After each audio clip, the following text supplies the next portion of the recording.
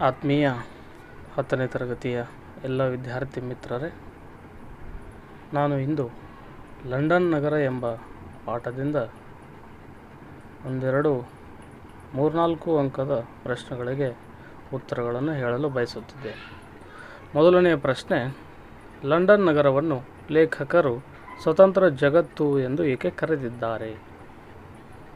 ಉತ್ತರ, ಲಂಡನ್ ನಗರದ ವ್ಯಾಪಾರ ವ್ಯವಸ್ಥೆ ರಸ್ತೆಗಳು, ಅಲ್ಲಿನ ಭೂಗರ್ಭದ ರೈಲು ಸಾರಿಗೆ ಸಾರಿಗೆ ವ್ಯವಸ್ಥೆಯಲ್ಲಿನ ಟ್ರಾಮ್ ಬಸ್ಸುಗಳು, ಎಲೆಕ್ಟ್ರಿಕ್ ಗಾಡಿಗಳು ನಿಲ್ಮನೆ ಎಸ್ಕಲೇಟರ್ಗಳು ಎಲ್ಲವನ್ನು ಗಮನಿಸಿದ ಲೇಖಕರು ಅದೊಂದು ಸ್ವತಂತ್ರ ಜಗತ್ತು ಎಂದು ಕರೆದಿದ್ದಾರೆ. ಇನ್ನು ಎರಡನೆಯ ಪ್ರಶ್ನೆ ಚೇರಿಂಗ್ ಕ್ರಾಸ್ ಓನಿಯ ವಿಶೇಷತೆ ಏನು? ಉತ್ತರ, ಆಂಗ್ಲ ಸಾಮ್ರಾಜ್ಯದ ವೈಭವ ಕಂಡುಬರುವ ಓನಿ ಚೇರಿಂಗ್ ಕ್ರಾಸ್. ಈ ಓಣಿಯಲ್ಲಿ ಇಂಡಿಯಾ ಆಫೀಸು, ಈ ಆಫೀಸಿನ ಹತ್ತಿರ ಆಫ್ರಿಕನ್ ಕಚೇರಿ, ಇನ್ನೊಂದು ವಸಾಹತಿನ ಕಚೇರಿ, ನೂರೆಂಟು ಬ್ಯಾಂಕುಗಳು, ದೊಡ್ಡ ದೊಡ್ಡ ಕಂಪನಿಗಳ ಕಚೇರಿಗಳು ಎಲ್ಲವೂ ಇಲ್ಲಿವೆ.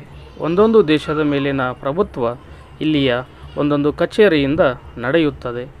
ಚೇರಿಂಗ್ ಕ್ರಾಸ್ ಎಂಬ ದೊಡ್ಡ ಬೀದಿಯು ಆಂಗ್ಲ ಸಾಮ್ರಾಜ್ಯದ ವೈಭವ ಕಂಡುಬರುವ ಅತ್ಯಂತ ವಿಶೇಷವಾಗಿರುವ ಓಣಿ ಇದಾಗಿದೆ.